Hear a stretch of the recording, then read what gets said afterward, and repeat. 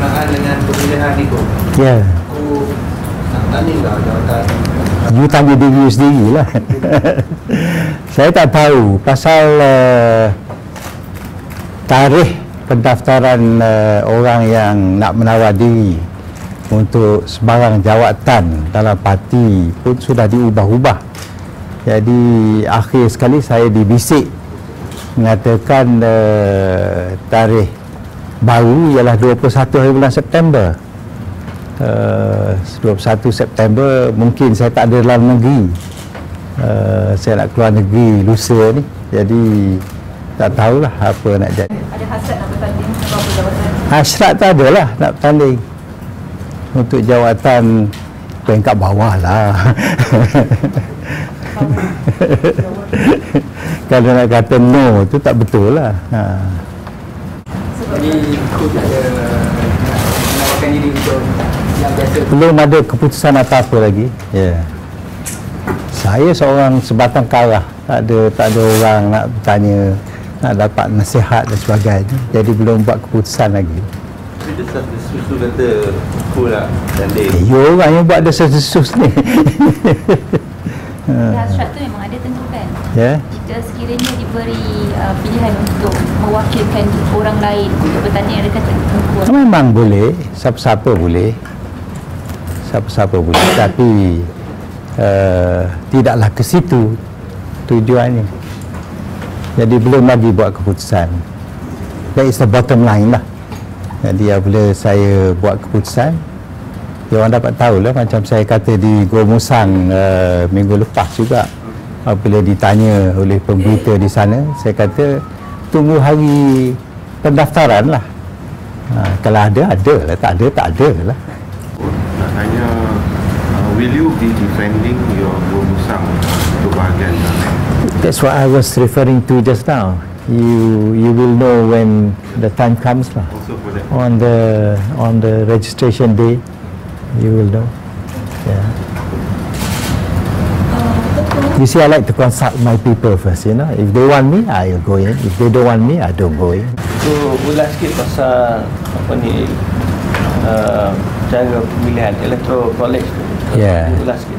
Inilah orang duk tanya-tanya saya. Saya kata saya sendiri bukan mendalami hal ini kerana um, ini adalah satu cara baru yang dulu tu kita guna bonus votes mengikut perlembagaan yang lama lah dan selepas itu ditukar kepada kota supaya seseorang itu mesti melayakkan diri dengan mendapat uh, apa ni cadangan ataupun uh, uh, pencalonan yang cukup daripada peringkat-peringkat yang ditentukan oleh perlembagaan. Jadi yang cara baru ni saya rasa amat menarik kerana dia memberi peluang kepada lebih ramai ahli-ahli parti untuk memilih uh, uh, orang yang boleh memimpin di setiap peringkat lah. Peringkat bahagian, peringkat tertinggi. Uh, kerana terbuka kepada uh, hampir 100 ribu lebih uh, wakil yang dipilih. Jadi saya rasa lebih demokratik. Tetapi uh, di bawah fasal 1014 kuasa diberi kepada uh, majlis tertinggi membuat peraturan dalam pemilihan ini. Uh, saya tak fikir uh, akan dicadangkan supaya diadakan electoral college system seperti diamal di uh, beberapa negara uh, uh, selain daripada kita ni di dalam UMNO.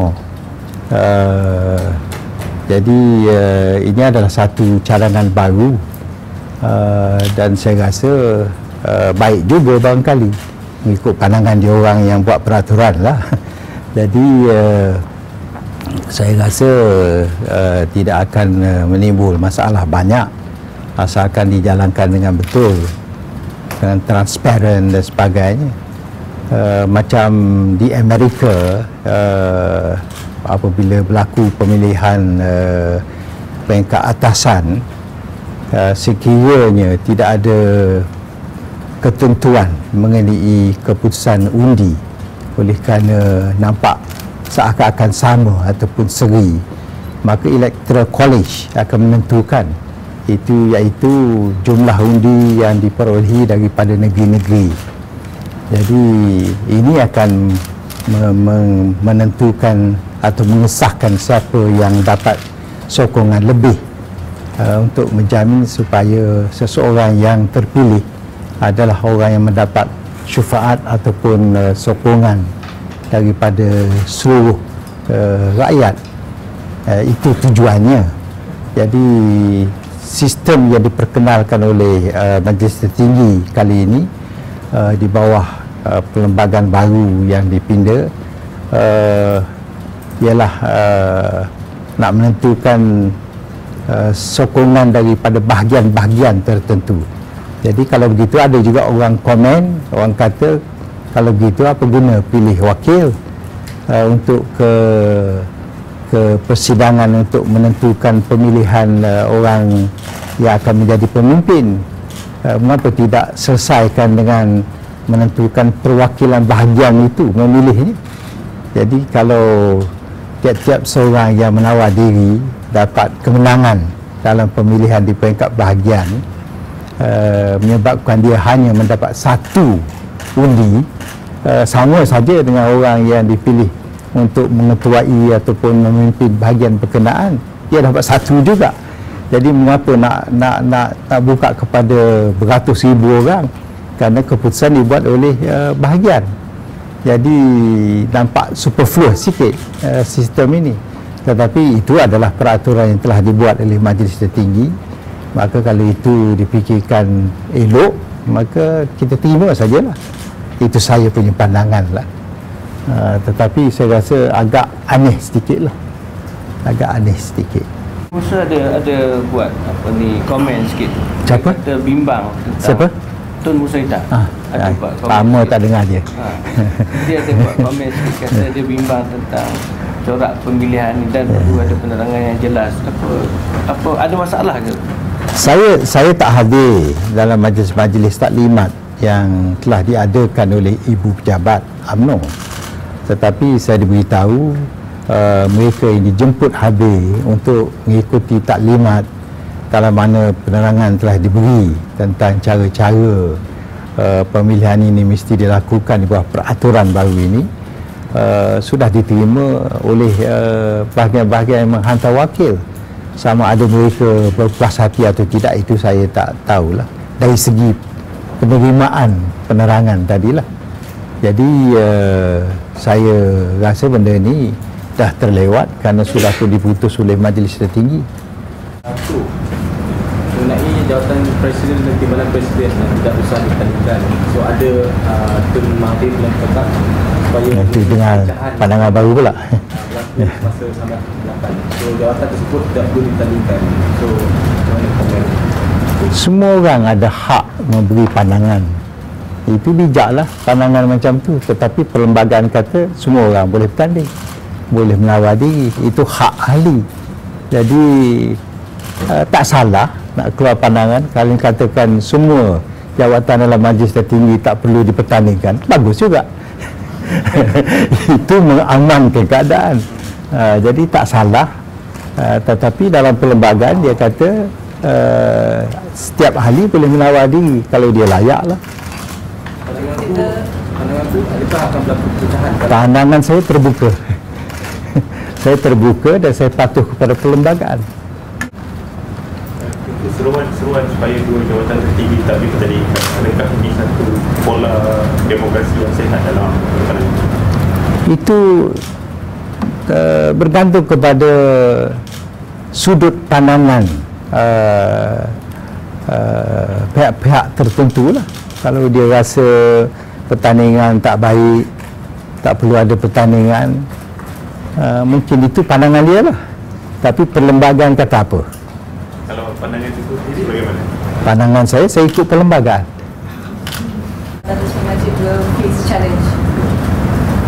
I'm sure he must be confident He's confident of No, no, I'm not saying he is confident. I'm sure he must feel confident. There's a different thing there, isn't it? In context. Uh, I must feel confident. After all, he has been president for four years. That he's not feeling confident? You better ask him. based on your many meetings with, with uh, perhaps grassroots, do you feel that there is uh, for- there are formidable challenge uh, for for another Najib in the upcoming I don't know. I don't know because uh, it depends on what the outcome will be. You know, it's the run up to to the election is important. When's the election? 17 tak? 17 Oktober. Uh, itu tarikhnya. Ha? 19 19 Oktober. What are the considerations that you will be making in deciding uh, what position would you like to be? Uh, Whether I'm wanted or not, lah. or whether I can do the job or not. by the people. yeah. But a lot of UMNO veterans are also throwing their head into the ring because they feel that um, the party, um, while while needing fresh uh, young people and fresh faces, the elder, the party elder should also be be there for you know. Well, the party is not meant for young or old. It's meant for everybody who are members. And we must make sure that the party is always strong and effective and always caring so far as the people's welfare is concerned. Uh, but uh, everybody is entitled to their opinion and they have their own way of looking at things. Do you still think that you can contribute to the Supreme Council? Your ideas, your experience? I don't know whether I have that experience to give. dengan jawatan Tengku dulu dengan naik presiden saya rasa boleh melayakkan Tengku tanding lebih tinggi sebenarnya ya ke? Ya. Saya baru diberitahu tu. ya. takut menjadi pertimbangan Tengku juga untuk tanding Tak ada pertimbangan saya, saya rasa tadilah sama ada nombor satu saya layak, nombor dua sama ada saya dikendaki dan kalau saya dikendaki sama ada saya boleh uh, uh, memikul tanggungjawab itu dengan dengan berkesan dan dengan baik. Sehingga ini setakat mana nak cium? Saya tak timbang-timbang lagi. Tu uh, sebelum ni dalam UMNO dia ada sistem kota pencalonan. Yeah. Kali ni uh, sistem tu tak ada. Yeah. Sistem ni menawari. ya. Jadi sebelum ni kalau tu paksa nak tunggu pencalonan ada tak ada. Yeah. Sekarang ni sekarang ni orang semua duk tunggu aku nak bertanding atau tidak. Ah, see. Kan? Wah. Itu Beza dia. Eh, tidak uh, sebenarnya pindaan kepada perlembagaan yang baru dibuat oleh AMNO uh, seakan-akan uh, apa yang dicadangkan oleh bahagian AMNO saya bahagian Gua Musang uh, tetapi kita mencadangkan uh, lebih daripada itu. Kita mahu setiap ahli uh, yang menjelaskan yuran ataupun yang berdaftar uh, boleh mengundi. Uh, uh, maknanya pemilihan pimpinan parti dibuat secara popular vote. Uh, semua orang yang menjadi ahli berhak memilih uh, pemimpinnya tetapi tidak dihad kepada 2,500 orang ke 150,000 orang ke. Tapi kalau jumlah ahli itu 3 juta maka 3 juta lah patut diberi kelayakan untuk memilih pemimpinnya uh, itulah cara demokratik. Sama ada dia suka tak suka itulah uh, hak yang diberi kepadanya. Uh, tetapi sekarang ini uh, 3 juta orang itu bukan semua boleh mengundi cuma yang dipilih saja. Yang menjadi wakil maka dia berhak uh, mem- membuat pilihan apabila berlakunya pemilihan uh, satu lagi saya telah kita telah cadang Gua lah, telah mencadang supaya uh, jawatan macam jawatan presiden dihadkan kepada tiga terma saja. Maknanya 9 tahun tak boleh lebih daripada 9 tahun. Jadi kalau seseorang tu sampai ke 20 tahun itu tak tak elok lah. Terlampau lama sangat. Uh, jadi kita nak had kepada 9 tahun uh, tetapi uh, mereka yang dipertanggungjawab untuk meminda perlembagaan ini tak ambil kira tu. Itu sebab barangkali tak ada dalam uh, perlembagaan yang dipinda ini. Jadi selain daripada itu nampak saya uh, apa yang telah dicadang oleh uh, bahagian kerumusan menyerupai dengan apa yang di, diterima dan di, di, di, dipakai dalam pindaan yang dibuat oleh uh, parti uh, baru-baru ini. Jadi saya rasa uh, memang ini uh, baiklah, ini baik. Lebih baik daripada kota bonus. Itu cara menipu. kota bonus apa lagi boleh fikir macam-macam lah kalau nak menghalang menghalang hak orang kita boleh fikirlah tahu itu kerana dia bermisai lah kerana dia botak kepala lah. Dia tak boleh bertanding. Jadi ini semua cara menipu lah. Tapi ahli-ahli UMNO ni patuh dia ikut walaupun dikena ke macam-macam syarat. Dululah dulu. Tapi yang ini lagi bagus. Cumanya uh, kelayakan untuk seorang seseorang bertanding itu disyaratkan di dalam perlembagaan yang dipinda iaitu untuk jawatan katalah majlis setinggi dia mesti pernah menjadi ahli majlis setinggi satu terma ataupun uh, telah menjadi uh, pemimpin di peringkat bahagian uh, berarti orang walaupun bijak, baik macam mana pun, handal macam mana pun tak boleh menawarkan diri. Uh, kerana dia tak pernah menjadi ahli majlis tertinggi ataupun tak pernah menjadi bahagian.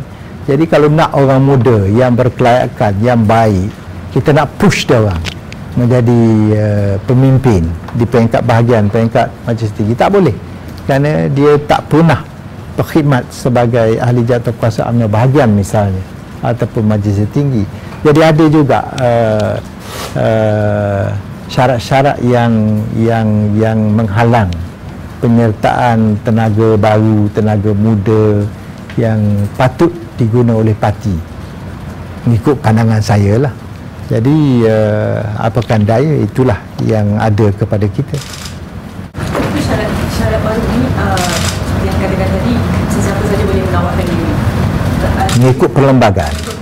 Yeah. I think that um, in, a way it discourages people from actually coming up to say, I want to go against uh, the president. It would actually put, a, put an X on their back. Yeah, more or less. It is it's something to discourage, uh, that discourages people from coming forward actually. I don't know about discouraging, but uh, it's it's a damper, you know.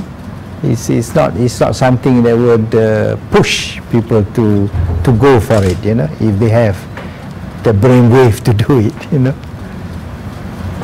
Uh, apa ni boleh ulas sikit tak kehendak apa ni kebanyakan uh, apa ni pemimpin-pemimpin di bawah sekarang ni kerana mereka diberi kuasa untuk uh, mengundi terutama di cawangan sekarang uh, mereka mengharapkan adanya pertandingan di setiap uh, jawatan majlis tertinggi jadi uh, tidakkah aku rasakan ini satu peluang untuk uh, menawarkan diri. Untuk saya? Ya. Mengapa pula? Nak tumpu kepada saya. kehendak di bawah ni. Ya tak tahulah. Ada kuasa. Sebelum ni dia tak ada kuasa untuk mengundi. tapi saya tak dengar pun. You aja yang sebut. Saya tak dengar apa tetapi memanglah uh, orang kita suka mengundi di mana-mana pun. Kalau peluang diberi untuk orang buat pemilihan mereka akan mengguna hak itu dengan sebaik-baiknya uh, termasuk di Malaysia pun di mana-mana orang suka mengundi. Uh, tengok macam cabutan nombor bertuah pun. Semua orang tunggu nak cabut nombor bertuah. Kerana uh, dia seronok nak, nak, nak, nak, nak buat pemilihan sendiri. Jadi itu sebab kadang-kadang sampai ke lewat petang pun ditunggu nak cabut nombor bertuah. Uh, mengundi ni lebih serius lah. Lebih lebih penting jadi kalau kita tengok peratusan orang keluar mengundi dalam pilihan raya umum baru-baru ini pun tinggi. Uh, berbeza dengan dulu. Kerana orang uh, meletak nilai yang tinggi kepada hak dia untuk mengundi. Dalam parti pun sama. Dan saya percaya kalaulah hak ini di uh, buka seluas-luasnya uh, orang-orang yang diberi hak itu mahu menggunakan hak ini untuk mengundi dan menentu siapa pilihannya.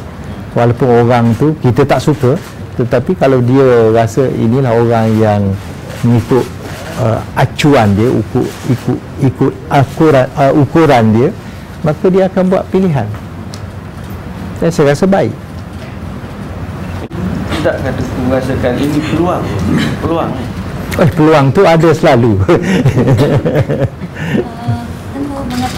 dasar-dasar mengatakan ku- uh, kuli akan bertanding pada uh, presiden mungkin itu dah saya sesus ke? You orang tulis boleh komen sikit lah.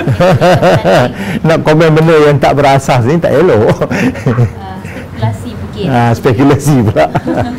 So mungkin boleh komen sikit lah mengenai kuli akan bertanding presiden tak semua orang uh, boleh tulis boleh buat spekulasi tetapi akhirnya sebagaimana saya uh, maklum tadi uh, dia bergantung kepada kelayakan bergantung kepada perasaan kita dari segi tanggungjawab uh, dan sebagainya. Keadaan sekeliling. Ini semua mesti diambil kira